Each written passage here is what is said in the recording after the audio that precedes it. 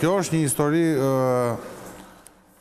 tradhtish, thika mbashpine, përqafime, puthje, divorce, martesa, pajtime, përzënie, kthime, që është bërë në, është ka shkuar në kufijtë qesharakë. Pse? Prapë po i kthehem që ne duhet të kemi një memorie kur flasim.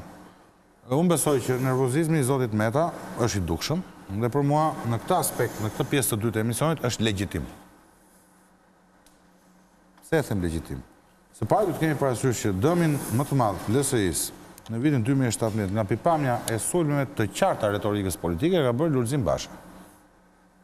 As Sali Berisha, as drejtuesit e PD-së. Po ka pas dhe rezultatin më të mirë LSI-ja në dy mijë e shtatëmbëdhjetë-ën. Ja, këtu fillon problemi. Këtu fillon problemi për zotin Meta që për mua LSI-ja dhe zoti Meta kanë marrë vendimin e gabuar dhe unë kam pas mundësi t'ia u them dhe privatisht se normal që e kemi kontaktet tona.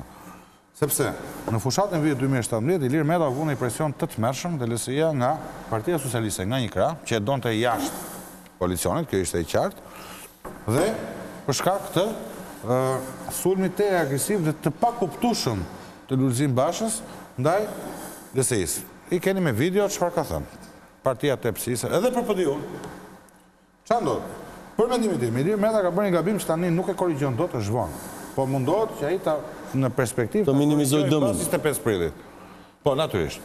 Ilir Meta duhet të kishte ikur nga Presidenti i Republikës, duke parë që kjo opozitë e shiti kauzën e opozitës, me dashje apo pa dashje, edhe prej paaftësisë, mendoni si doni, për të tre lista qeveri e përbashkët që i kemi thënë dhe marrëveshje.